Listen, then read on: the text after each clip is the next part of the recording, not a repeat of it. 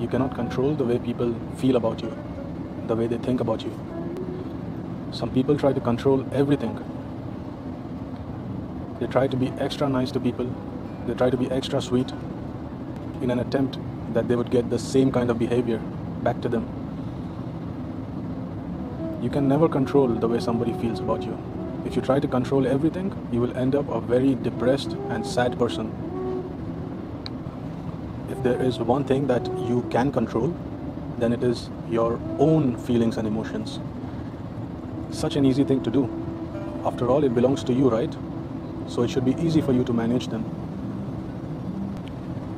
You need to realize that there is nothing wrong with reality. It is just your constant struggling and fighting with reality that makes you suffer. Now, there are areas that you need to manage, like your work or studies, but when it comes to people and relationships, to control them all the time is a complete waste of energy. You could put this energy to much better use. The problem is with giving people so much power to let them make you feel however they want to make you feel. Constructive criticism is alright. Let your common sense guide you with what is constructive criticism. If you do not want to get hurt by the negative comments by other people, then you must also not let them give you happiness through praises and compliments.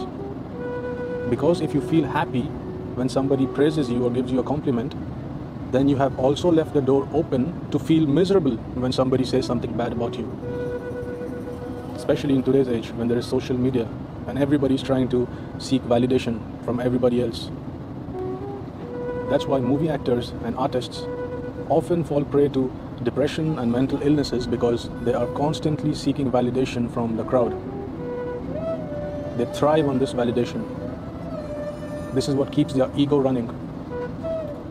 Sometimes nobody even has to say something bad about you. Just a thought from the past about somebody saying something bad about you that you did not like can completely ruin your day. This power of making you feel happy or sad should not belong to anybody. This power should only belong to you. And when you get this power, you would always keep yourself in a happy place, in a positive place.